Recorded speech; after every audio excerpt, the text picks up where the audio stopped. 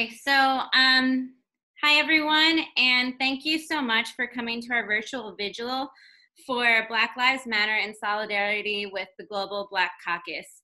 I hope everyone's family, friends, and loved ones are safe at this time. My name is Kim, and I am the chair of Democrats Abroad China. What is happening now is an injustice to us all and truly heartbreaking. I would like to quote Killer Mike from his emotional speech in Atlanta, Georgia, given the other day. He said, quote, I am duty bound to be here to simply say that it is your duty not to burn your own house down for anger with an enemy. It is your duty to fortify your own house so that you may be a house of refuge in times of organization.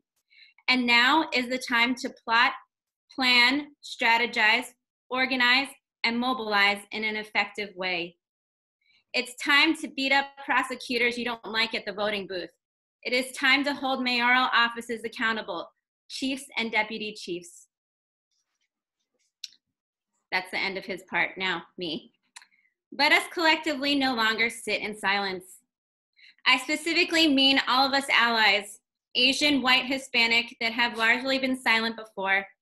Let us change and transform the sadness, guilt, fear, and anger into meaningful action and talk to our communities on why, if we want to rise, we need to rise together. If you're feeling anguish beyond what you think is healthy for you, understand that you can only help others as much as you help yourself first. I will be dropping a link for free counseling within China from an amazing organization called Lifeline in the chat. Thank you so much for your time, and I will pass this back to Brittany.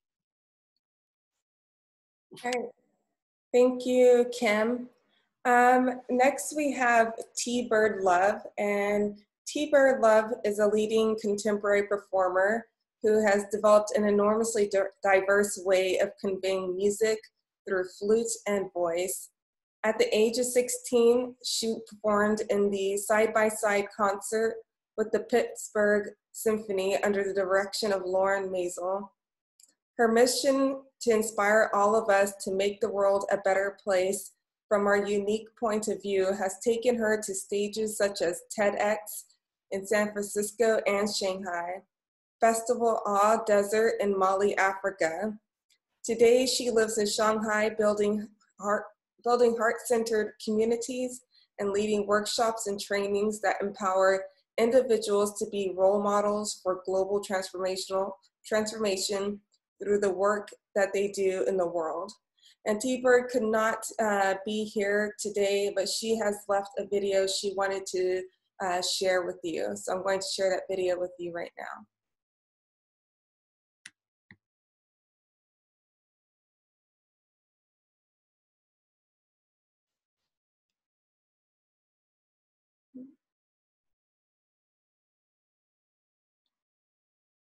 As soon as I can get it. Wait a moment.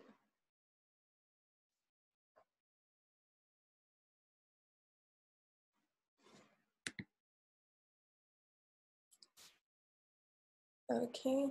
And can you give me a thumbs up if you can see it? Great, thank you. My name is Tanya Ridgely. People call me T-Bird Love, and um, it's an honor to be here with all of you, even though I'm doing a video for you, um, but I can feel you in the system. And it's beautiful that we can come together to demonstrate that the violence against Blacks has to stop, that the violence happening in the US is insane, and that really the violence all over the world that is taking place it's our old story and it's time to have a new story. So it's an honor to be here with all of you today. Um, I'm sitting here in New York City right now and holding so much of the complexity of what's happening in the world and how uh, the year 2020 that we're still managing this is insane. I'm usually a person of tons of words, but um, instead I'm going to play for you and just say thank you.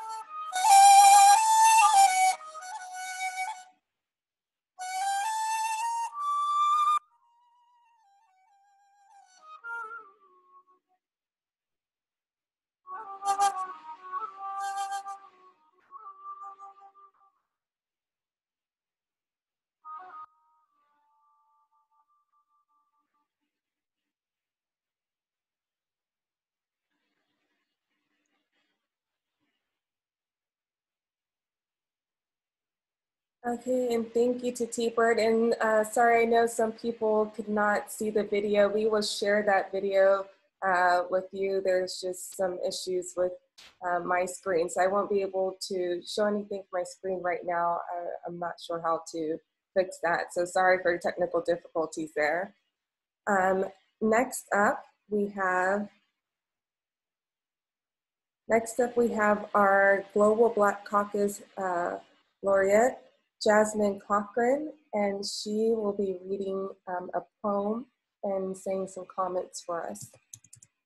So let's welcome Jasmine.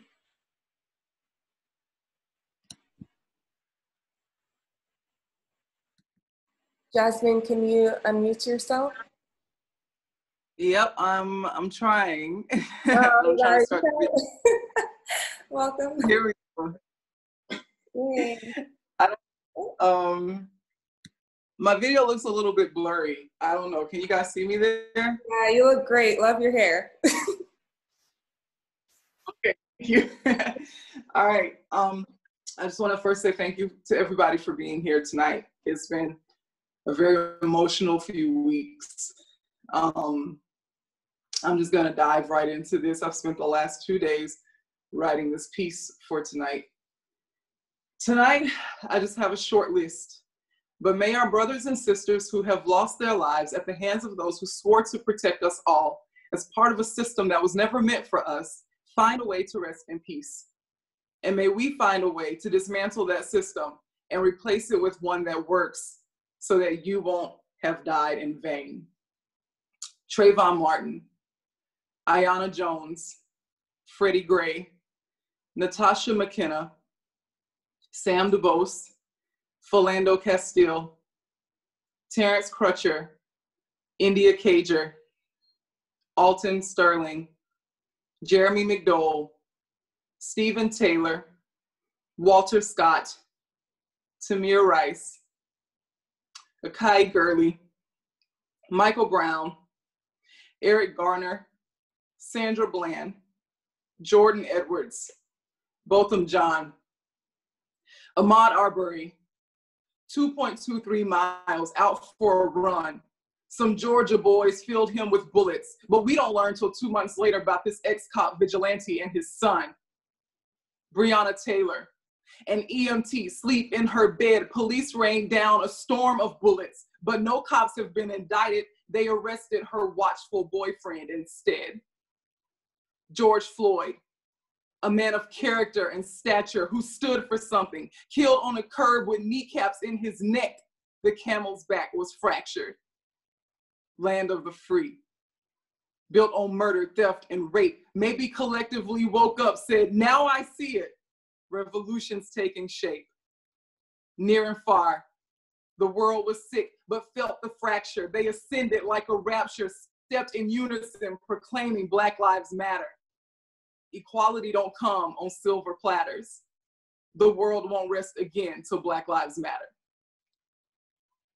that last line is my hope that this is not just a one off, that the people who we see now who are aligning as allies are in it for the long haul, and that at this point we can get together, we can align, we can focus, we can organize, and we can really do something that can change the future of the USA so that when it's time for us to go home, we won't be scared to. So that if my kids want to grow up there, they can and they can feel like that's home. And that's for all of us. I'm glad you guys are here tonight and may we move forward in power and success. Thank you, Jasmine, so much. That was powerful. And I, I just want to personally mention um, that she's right. Um, that I hope that this isn't a one off and the people who are standing here as our allies uh, continue to stand uh, with us um, because you know no fight is easily won and it takes time and we have to keep up that momentum i think that is so uh, important right now because if we're going to have justice i'm sorry for our community. We need to we can't give up. We cannot give up this country because we should be able to walk through this country that our ancestors fought for and not fear for our lives. So i just as I, as jasmine said you continue to stand with us and you know don't give up the fight uh, uh, sorry so the next person um, that will be speaking for us is uh, Jay Carter. Jay Carter, he's a Black conservationist, humanitarian activist, an AmeriCorps alumni, and political consultant. He has worked with uh, government agencies to protect and promote public lands for park visitors and wildlife habitats. Uh, Jay, I'm going to unmute you.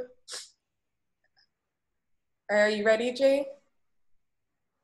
Yes. Um, that was very, uh, very moving, Jasmine, and I'm just every like.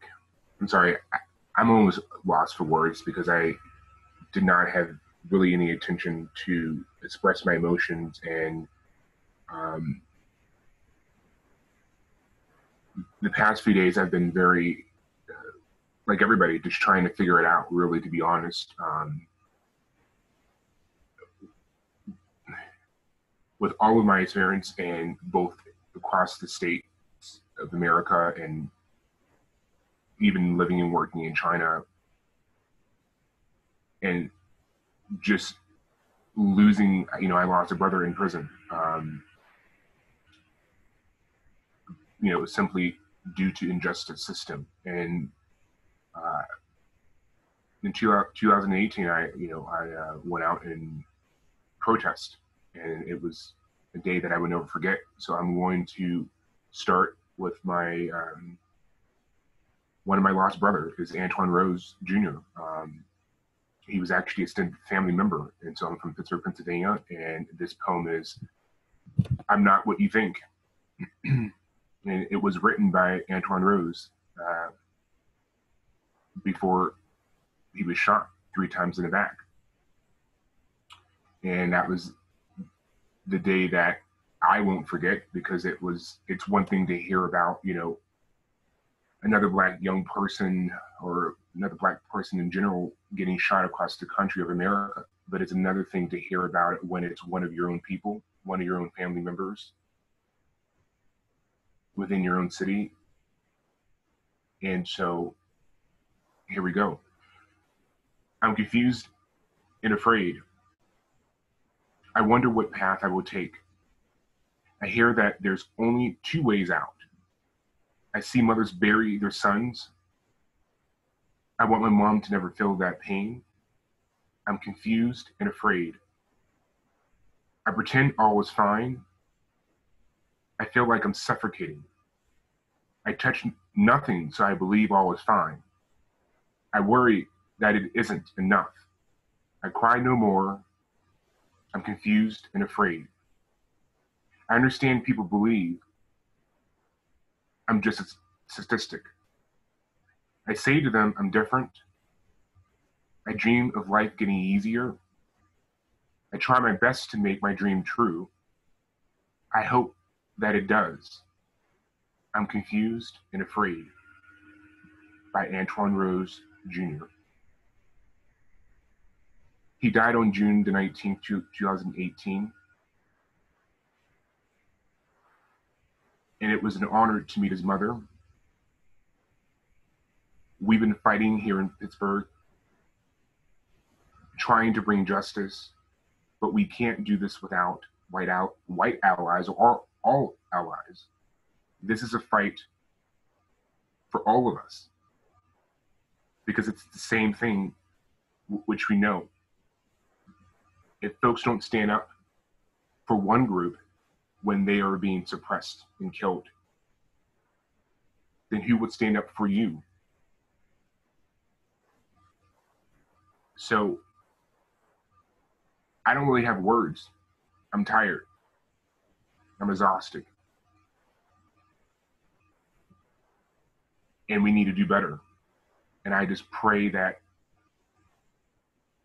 it doesn't stop here, that we continue to have these open, honest conversations, because we're not just burning down properties because we think that that's the, we're burning them down because it's, we don't believe that this is our America. And I can't speak for everybody. But if we don't figure out a solution and stop this racist, narcissistic, ego, police brutality, and what have you, it's time for a revolution. If we don't come together and we don't figure it out and right the wrong, 400 plus years of slavery of our people, and we don't call it out from the top of this president administration and all the way down to the white neighbor that just likes to pick a fight with you know someone because of the color of their skin if we don't start to come together and call things out for what it is and hold them accountable we are just as guilty and we have blood on our hand as our own enemy I don't have anything else to say. I just thank you guys for being here and for sharing your stories. Because what you're looking at today, with all of my successes, means nothing when I walk out the door. I'm just another black person. It's time for all of us to wake up. I'm tired of protesting. I protested since I was 15. It's not enough.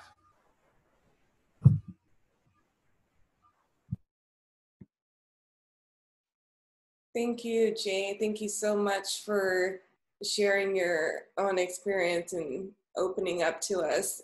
And you're right. We need to wake up. This is, you know, the system isn't working for us. And uh, we're tired of hearing that people want the black vote. Black people and young black people are tired because they keep saying they want our vote. They're going to change the system, um, but nothing has changed for us. So we hope that in this election that you know you're not just asking for our vote, but that you're standing with us to bring systematic change because it has to happen uh, or we can't go keep going forward like this and you can't keep asking for our vote and then not helping us move forward so thank you uh, thank you jay uh, next up we have dr kimberly stowe she is the united nations uh, ambassador at large uh, she's a U.S. boxing princess and first lieutenant U.S. Armed of the U.S. Armed Forces. She's going to give us a statement in light of the most recent tragedies of our, of our community. Let's see, Kimberly.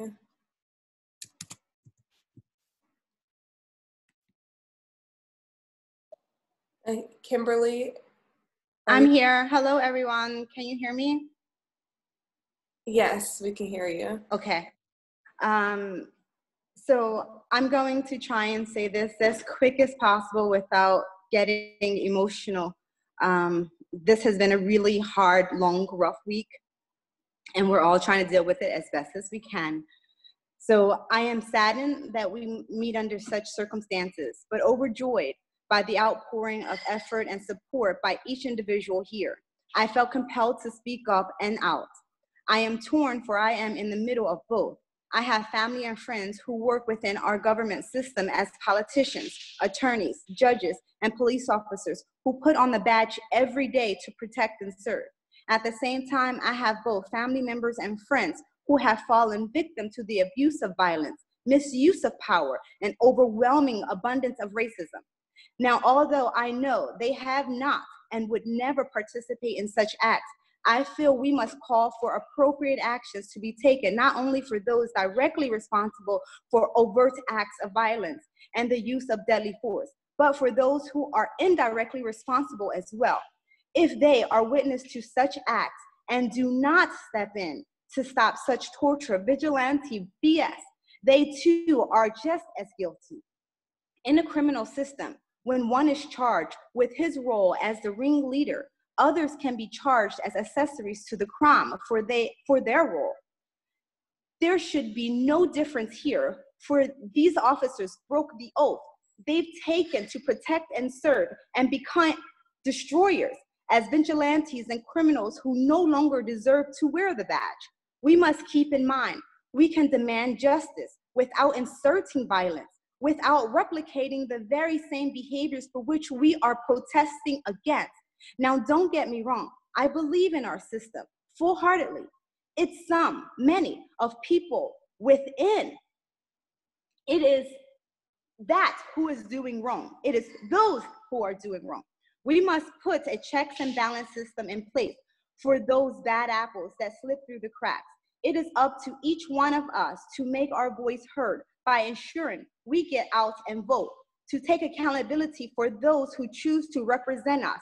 And we have the right people in place to prevent such ongoing devastation. Voting is power. Voting is our livelihood. Voting is our nation. Voting is of the most importance. So we must stand together and become the most synchronized voice we can, where our vote is heard loud and clear. We will stand for nothing less. No more violence. I love you all and want nothing but peace, serenity, and prosperity. For in my world, all lives matter. Black lives matter. My life matters in the slaughter of our people. I beg of you. And we, the people, need to band together in reaching back to our roots of the MLK in a nonviolent approach and take an appropriate stance. George was all about community. Let's stand in his honor and honor him in the way that he would want. Thank you guys for listening. I just want us all to get through this as best as we can, but in a sense of making positive steps, meaningful steps, not just having this for naught, a protest that went nowhere, a protest that didn't mean anything except for that moment. We must get out of that. We must stand together and start making more actions, powerful actions, and get those people to represent us. No, no longer can we stand for this. No longer. So thank you guys for listening, and I have nothing else to say.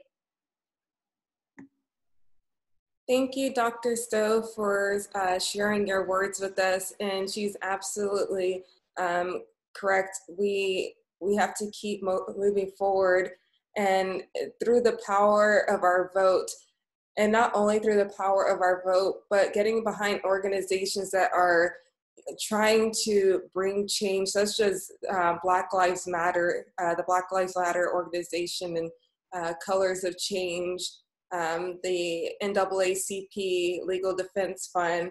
Uh, and I just speak, uh, and I say these organizations not on behalf of the Democrats abroad, but on behalf of myself, because these are um, these are organizations that have been working um, since uh, the unjust killing of Trayvon Martin to you know bring about change. Uh, the NAACP even longer. So we need to support these organizations. We need to get back into our community and start at the grassroots too, um, especially for our allies. Uh, it's voting, but it's starting at the grass, grassroots and going into your community, speaking with your families and friends to uh, bring about change. Next up, we have uh, Charmaine Thomas from Oklahoma, uh, who is falling in love with living life as an author and writer. She's an inspirational speaker, aspiring actor and director, producer. She, she is affectionately known as Red and publicly known as MC from Heaven, and she will be sharing her story with us. Okay. Okay, Charmaine, are you able to unmute yourself? Yes. Can everybody hear me? Yes, ma'am. All right. Okay. I when I first got this message, well, first I want to show y'all my shirt. This is the platform that I have created in Shanghai. It's ironic that in this time, the platform is called I Am Enough which is a creative art storytelling platform that you know has reached so many people around the entire world. And when I watched the six and a half minute video of what happened with when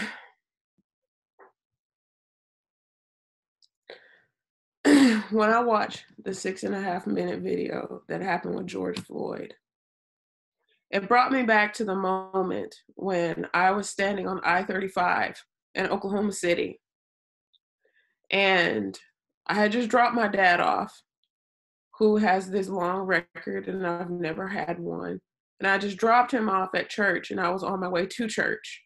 And there was this officer tailgating me. I wasn't speeding or doing anything because it's a Sunday. Any American knows you're most likely to get ticketed on a Sunday. And as the officer continued to tailgate me without their lights on, I started getting nervous because they were so close to me. And then as I went, continued to go down the highway, I saw another officer pulled over. They had somebody pulled over, and it was side to side, tra- side to side, bumper to bumper traffic. And for all of you who know, in, in America, is you know the law is for you to pull over or slow down for emergency vehicles. Now, I was not being pulled over. I saw the officer pulled off to the shoulder. And because the officer that was tailgating me was tailgating me so closely and very in, in such an intimidating way, I tried to move over to the right to get away from the officer that was on the shoulder. And no cars would let me in, so I pulled myself over. And as soon as I started to pull myself over, the officer turned the lights on. So I pull over on the side of the road and I open up because not everybody here is black. And if you don't understand and haven't understood, understand this today. What we are taught in our homes is different. And so, what we have to do the moment we get approached by law enforcement or even your authority figures and superiors who do not look like you, we are taught differently. And so, because of what I was taught in my home, I knew that my truck window didn't roll down. And I opened my door slowly and put my hands on the steering wheel and said, Officer, my window doesn't roll down. I'm just letting you know that's why I'm opening my door. And as I had my hands on the steering wheel, the officer pulls up to me and is yelling and just telling me that actually, I don't even remember everything she was saying. And I was so alarmed and just trying to remain calm and just ask the officer, What have I done? Initially, the officer told me, and I'm sure you're wondering by now, was this a white cop? Absolutely. And it was a white woman cop. And I asked the officer once, you know, she calmed down just a little bit. I asked, you know, well, what have I done for you to pull me over? And the officer says, well, I don't have to tell you. And I said, okay and I just sit there and I wait, you know, for her to calm down. And in the midst of this, she's saying a lot of derogatory things to me. And she then decides that she's going to give me a ticket. And I said, Officer, Why are you giving me a ticket? And she tells me, I don't have to tell you why you're getting a ticket. And so at this point, I start to panic and get nervous. And I don't know if this is a, I didn't know for me if this, at this time if this was going to be a moment in history where I needed to stand my ground or if I just, you know, needed to bow down, you know, whatever. I had no idea. I was barely 20 something years old. I was in my mid 20s. And this happened two days before President Obama was elected. So she hands me the ticket, and I tell her, I said, I don't believe I can sign this ticket if you can't tell me what it is that I have done wrong. And so she tells me she's arresting me, and she proceeds to do so. So, right out there on I 35, in front of everybody traveling between Oklahoma and Texas, she pulls me out of my vehicle, leaves my door open. All of my belongings are there. She puts the handcuffs on me so tight that my hands immediately went numb.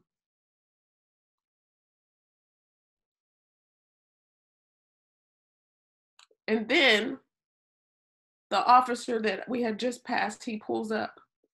And now there are three white officers looking at me.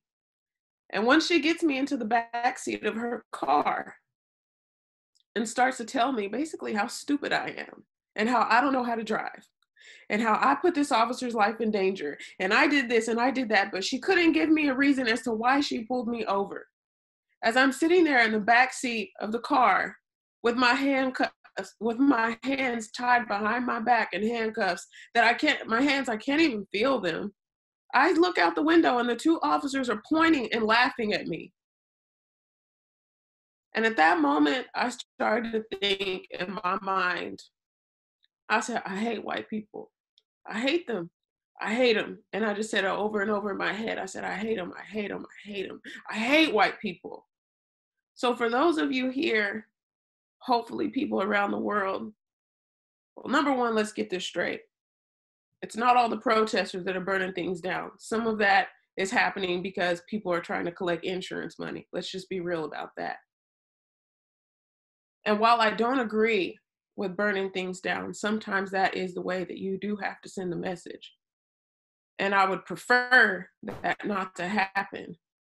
But the anger at that moment that I felt, I could have done the same thing.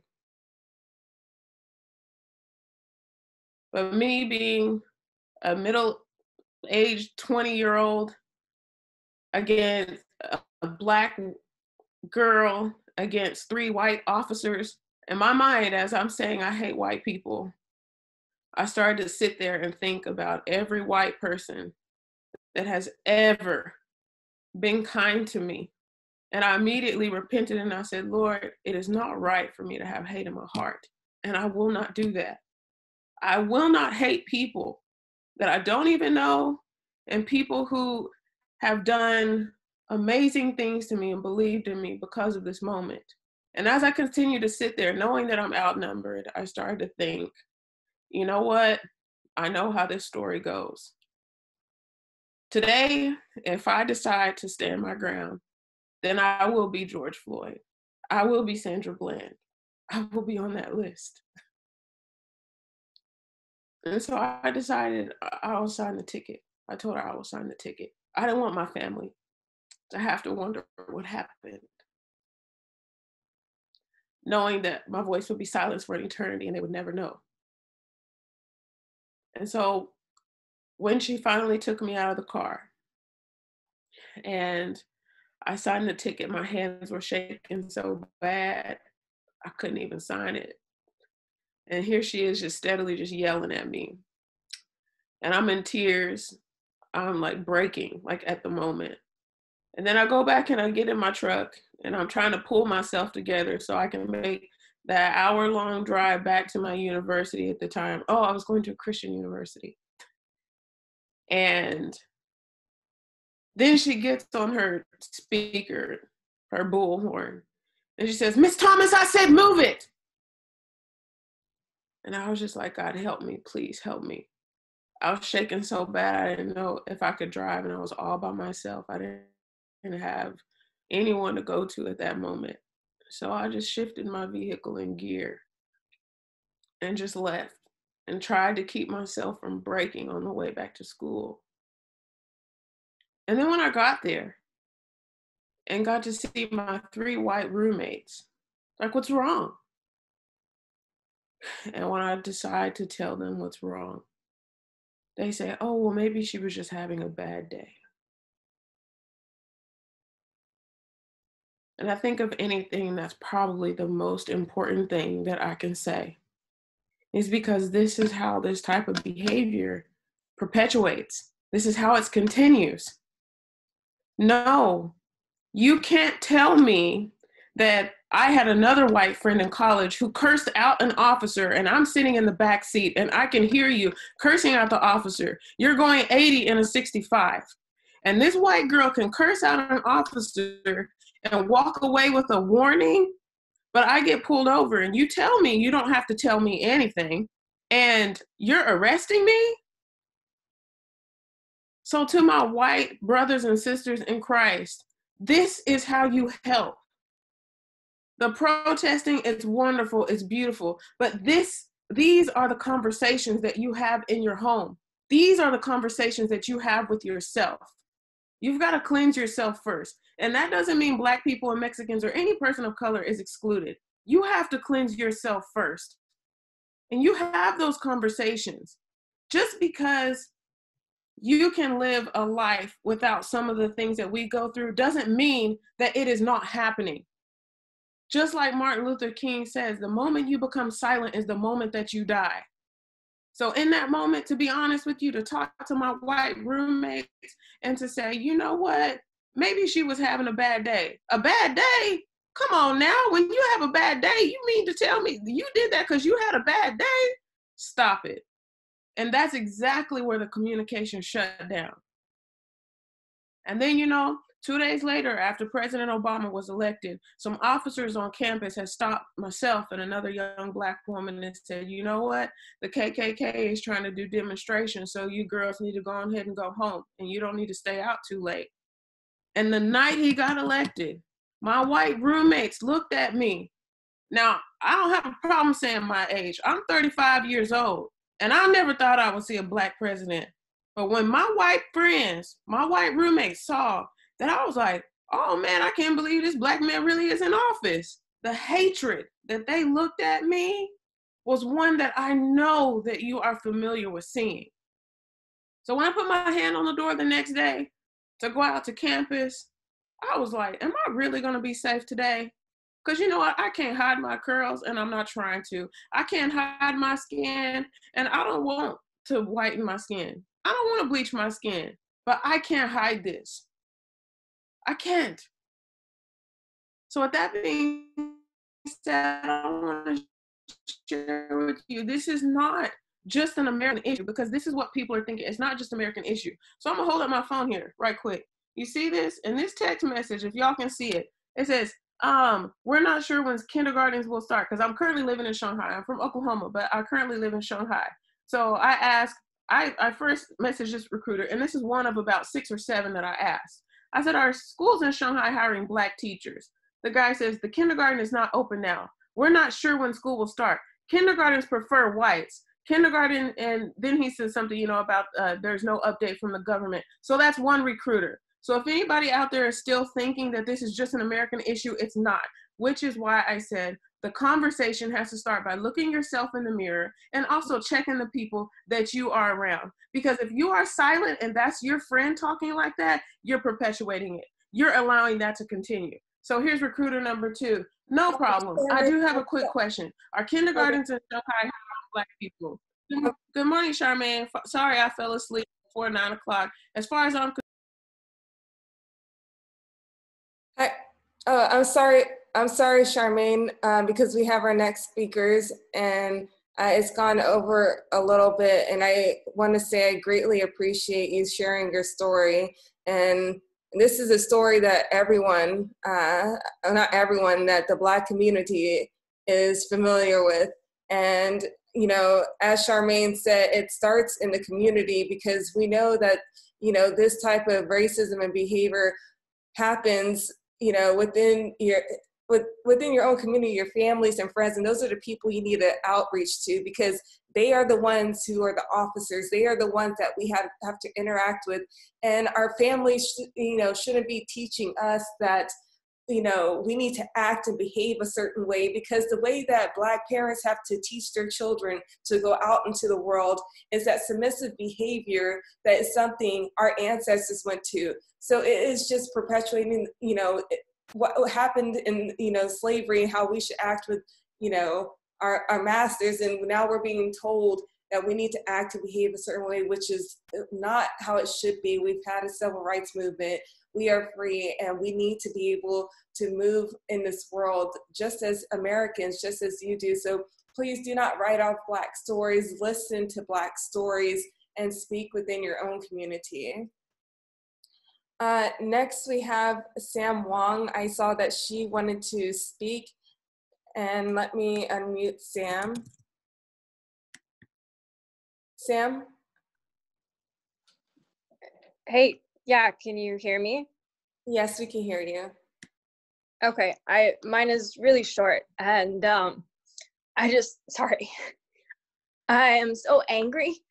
Um and I'm so glad that we've all come together, but as someone uh that looks white and has white family and uh you know uh, to everyone else that is on this call that looks white or has is white and has white family like you can't say that you don't have white family members who need to change um, need to change. They need to change now and you need to educate them now and you need to reach out now. So i'm reaching out now um, i'm sending them information like and and i need i need everyone else to do the same and that's it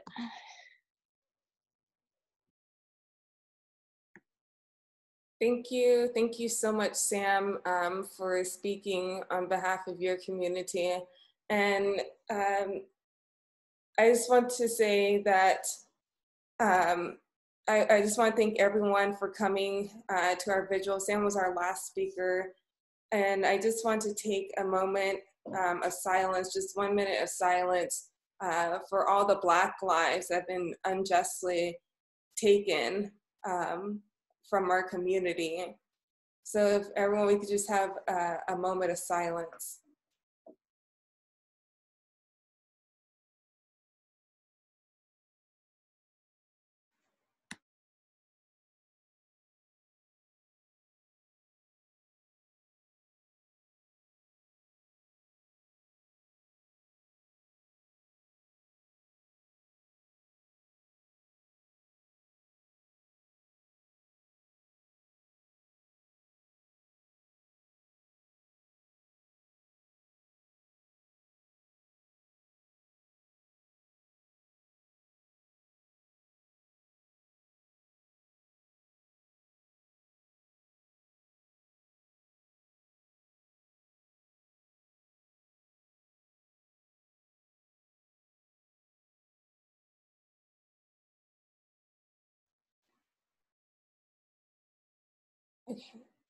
And thank you, thank you everyone um, for again joining us on this call. Um, I believe, Alex, I'm going to unmute you. Did you want to? Sorry. Hey, um, well, I, I, if people want a song, we can do a song together. Uh, yeah. Been a lot of powerful speakers uh, tonight. Um, really appreciate our po poet laureate was killed uh, by police officers. Uh, and I'll never forget when I was 17, uh, I went to see Wally and Juanita Nelson uh, speak in Coltrane, Massachusetts, and I went with Reverend Robert Thompson, and uh, who's a friend, who's still a dear friend of mine. And uh, both Wally and Juanita passed away. Uh, Wally was part of the um, pre Rosa Parks uh, bus um, efforts. Uh, there's a movie called "You Don't Have to Ride Jim Crow," and we went to went to listen. And on the way home, we got pulled over by the police, uh, and the Rev, who was black, was driving. and it was a, an amazing lesson for me. Uh, um, and he, uh, j- just to watch the way he interacted with the police officer, uh, and and eye opening for me uh, as a white person. Um, and I remember that day because he sang uh, so beautifully uh, at the event that we had attended. Um, and so it was probably about 1993, uh, would have been 1993. And um, if people want to sing, uh, I, I, can take suggestions, or I, I, have on my screen in front of me Amazing Grace and We Shall Overcome. So uh, great. Let's do We Shall Overcome. Yeah. Uh, and I don't know, Brittany, if you can unmute everybody so that it isn't just my voice. okay, everyone's unmuted, I believe, and you can you can unmute yourselves if you would like. There you go. Great. Uh, we shall overcome. We shall overcome. We shall overcome someday.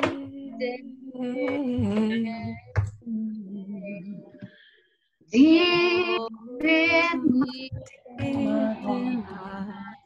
I do, I do believe we shall overcome. Someday.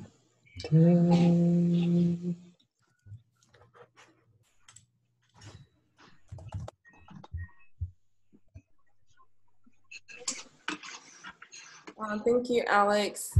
And thank you, everyone, for um, joining and singing us.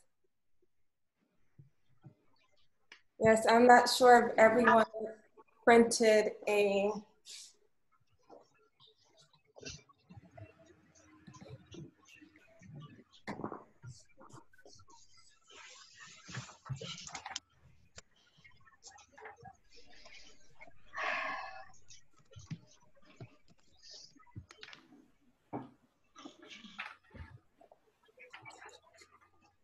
Everyone who um, wrote their own sign, please turn on your camera and, and hold it up?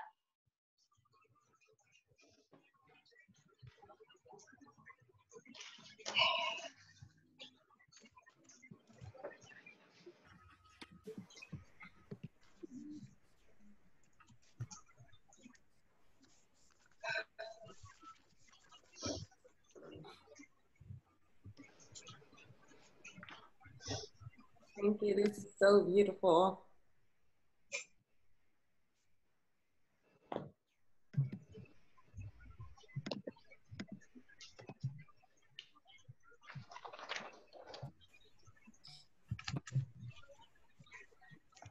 Thank you everyone for um, joining us during this time. And I just, as we said, I hope we don't stop here.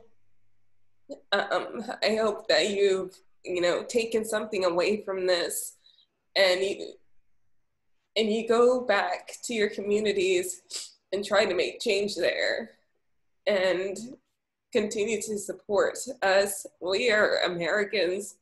We know what we want for our country. We don't want division. We want a country that welcomes different people. That's why people come to America. No matter how many problems we have, like uh, other countries in the world, um, people come here because we're different. We 一百一百二十号。So much more. Um, so much more. Just want to say thank you to everyone, and I hope you have a wonderful evening, or if you're in America like me, have a wonderful morning, and make sure you keep in touch. So thank you, everyone.